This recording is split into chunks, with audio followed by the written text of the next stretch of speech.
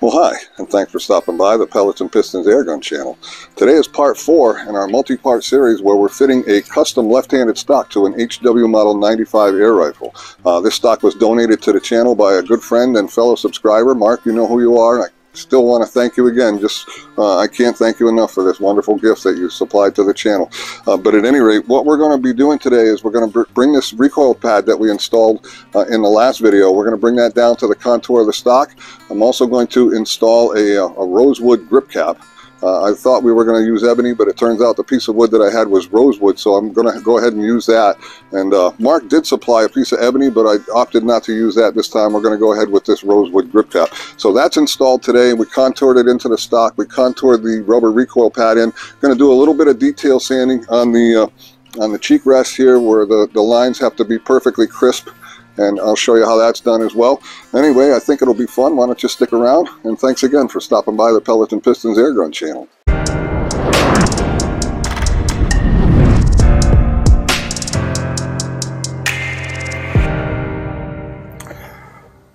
Okay, so now what I'm going to do is I'm going to use this piece of cardboard to trace the uh, the grip um, shape onto the cardboard so that I can cut out that shape and then transfer that shape to a piece of exotic hardwood that we're going to use for the uh, for the grip cap.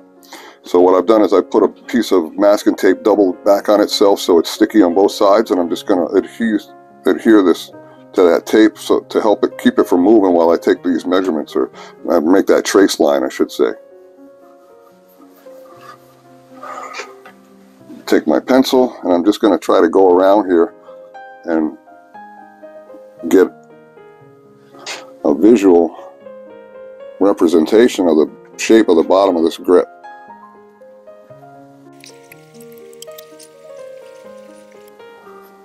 Let's see what we got. Alright, that's not too bad. We're going to cut outside those lines anyway. And uh, we'll be able to make something that looks a lot like that. Alright, so let's get started.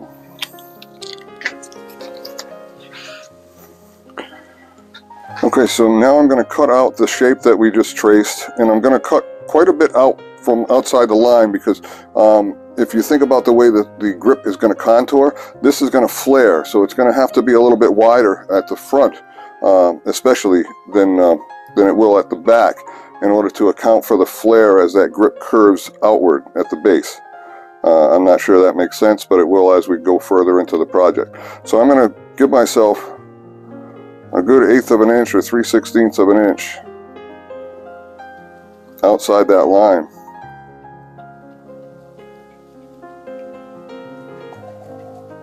Just to be sure we have enough to account for that. It's a very subtle flare. You don't want too much. I've seen some custom stocks where that flare is very pronounced. And I don't want that. I just want to a slight flare at the base for appearance and also for functionality. It, it keeps that pinky finger uh, nestled perfectly against the stock.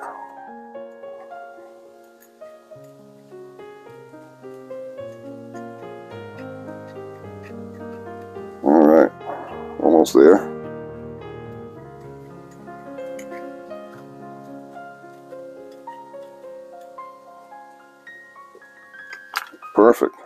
Right, so that's what we're going to trace onto our piece of wood.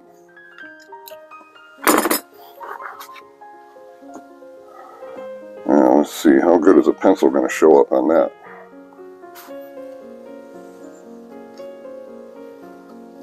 Oh, it shows up fine.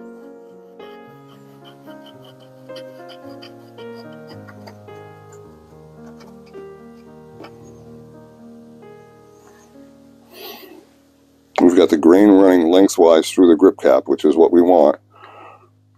We don't want that grain to go across the, the grain of the rest of the stock. That would look uh, improper.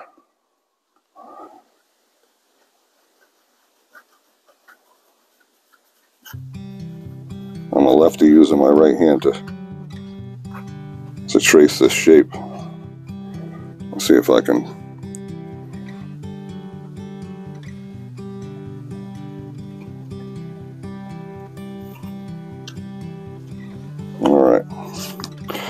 Our shape that we're going to cut out. And we'll move on to that in the next segment. Okay, so you can see I've already started the cut here, and I'm going out of the lines once again, a little further out from the line, again, just to make sure that I don't take off too much material until I get that final fit done.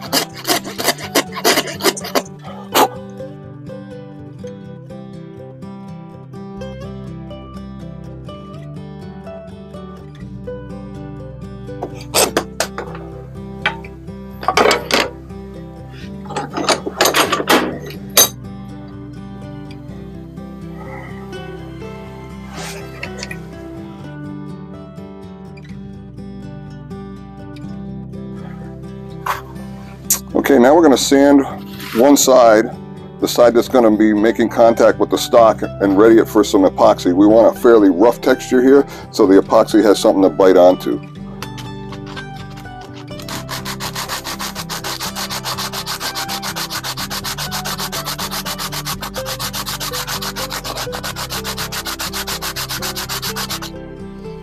Looking good. I just get a get a little more of that shiny part off of there.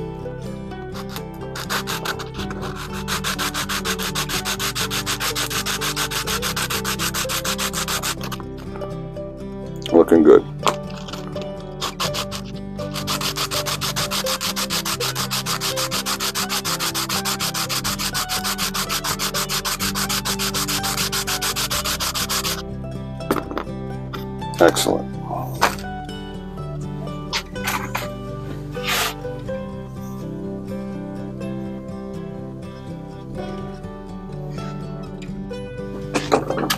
Okay, next we're going to mix up some epoxy and glue this grip cap into place.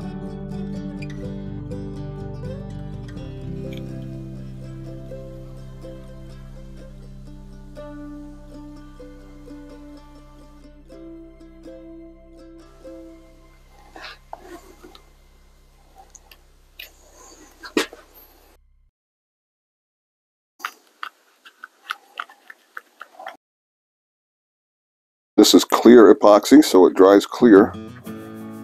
That's what you want. It's five minute epoxy. It's probably not as strong as the, uh, the traditional long setting strength, but there's not a lot of stress on the grip cap. I don't think it's going to be a problem. I've used this in the past without any issues.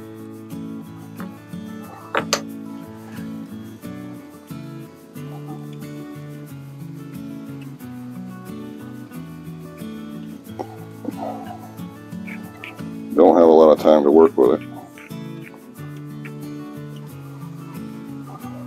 Spread it, make sure it's touching every portion of the grip.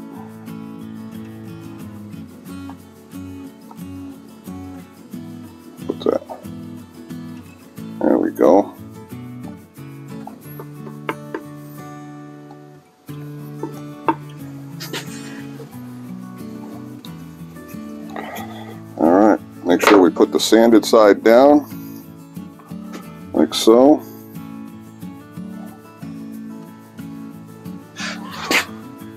Press it down.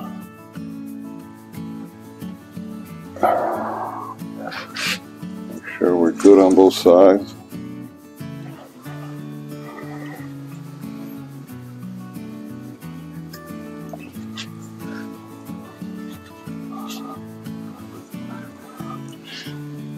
Looks good. Front looks good. Sides look good.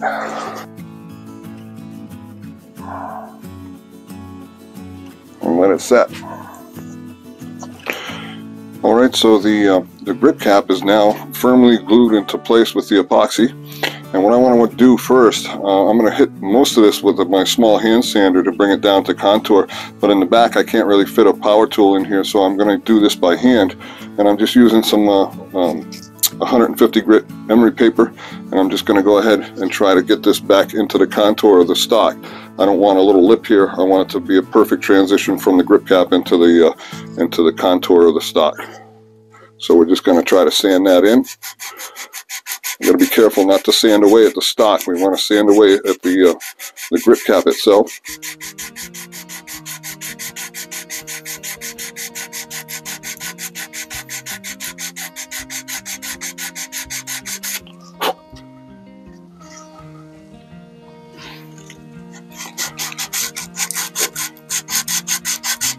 We'll know we're there when we uh, sand away that epoxy.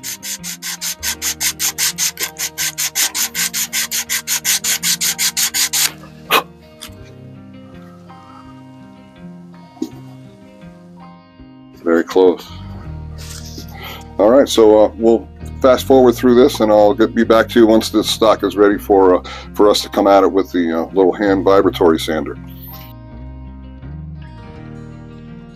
All right, so moving on to the grip cap, uh, we're going to be using a detail sander and we're going to sand this grip cap down into the contour of the stock. I've done 90% of the work already off camera, so I'm going to do a little more detail work and then we'll show you how we made out as far as shaping the grip cap into the contour of the grip. All right, so let's get started.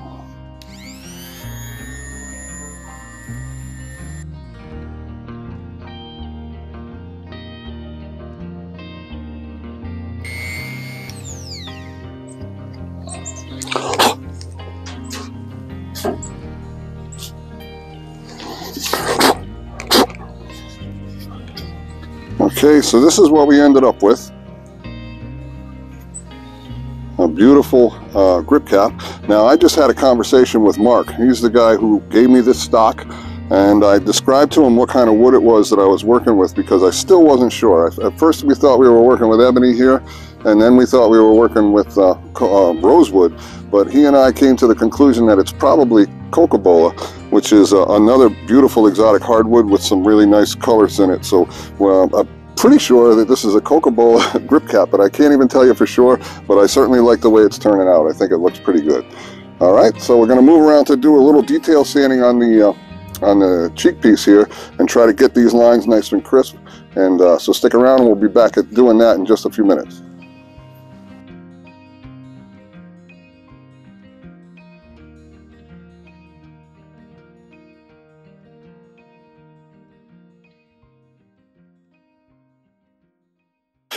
So we're going to start doing some detail work on these cheek piece lines. We want to try to keep these lines nice and crisp. Uh, and in order to do that, I need to use a tool that won't roll into the uh, into the uh, the edges. I want something that's going to keep a nice straight edge.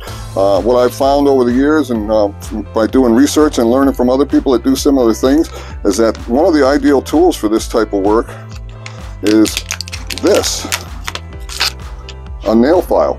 Um, I asked my wife to pick these up next time she was at the drugstore and she was kind enough to do that for me. Uh, and so now we can use these files which only cut on the face. They don't cut on the edge. The edge is smooth. Um, so that we can run the edge right alongside this cheek piece and get that nice straight crisp line that we want by sanding away in a nice straight line just like this.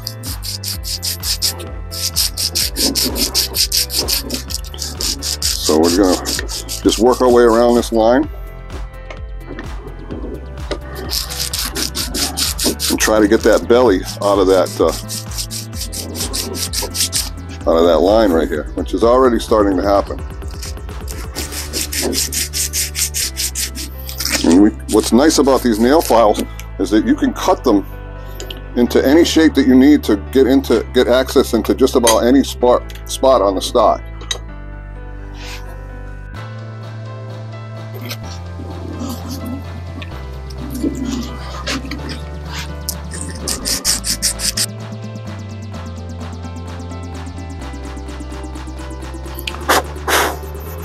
Belly is just about gone.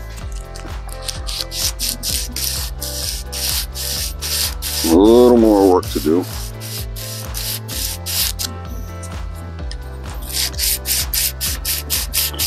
Let's see, what, what's nice about these is that you can cut them to any shape that you need to get into any space on the stock. Uh, so you can see this belly here is still there. We're going to try to get that out of there.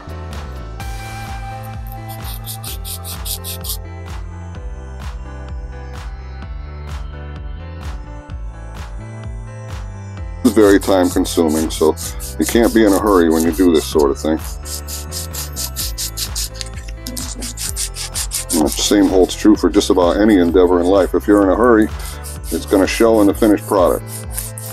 So you have to take your time. What I find with this stuff is when I start feeling like I'm in a rush or like um, it's more work than it's worth, I'll walk away and I'll come back when I have a fresh perspective and a, and a new, fresh mind and plenty of ambition to do the job. It looks like we got most of that belly out of there now.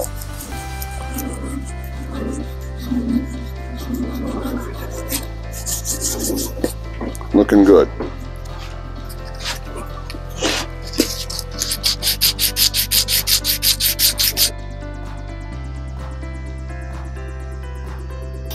When the stock is finished, we want this line to be nice and crisp and to look very professional looking. And we've got 90% of that belly out of there now.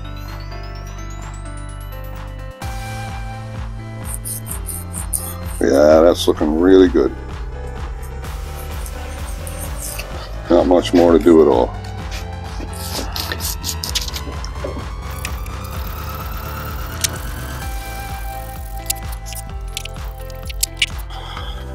Okay, so now I'm going to move on to this radius, which we want to try to keep as a nice round curve. And the way I've decided to do that is I'm going to use a socket, which I found fits that curve just perfectly. And I'm going to wrap it in some 150 grit paper, like so.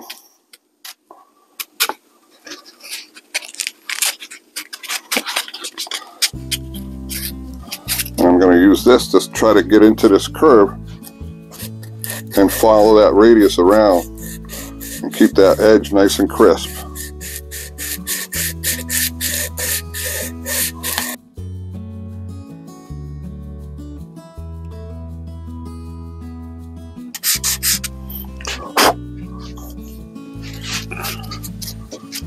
You want to try to get all the um, imperfections out of this piece of wood before we even think about putting any finish on it.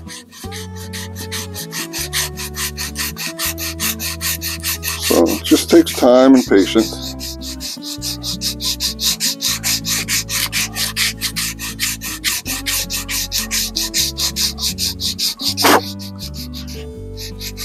As you can see, the belly that we were working on is gone. So that's nice.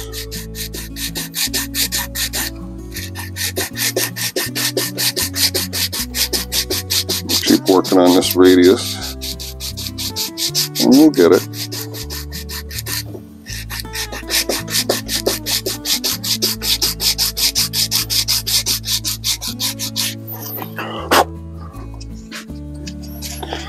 Get the idea and we'll spend some more time and we'll get this all set.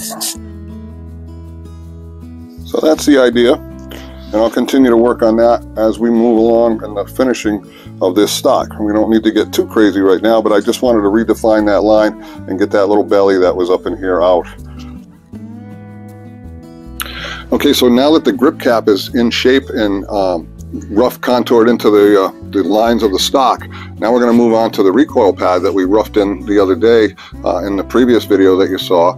Uh, we used the, uh, the power bench grinder in order to grind this recoil pad down very close to the contour of the stock, but now it's time to do the finish work and get it so it's flush. And we're going to do that with a palm sander, and uh, we're going to do that right now.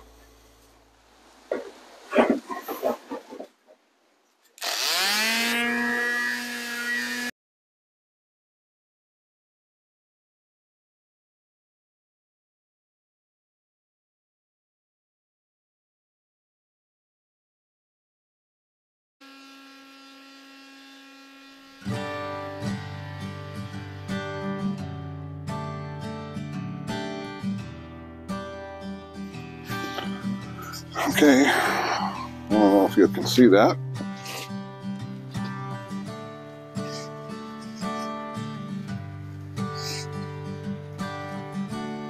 A little more right here. Got a little hollow in the stock here that we're going to try to take out now.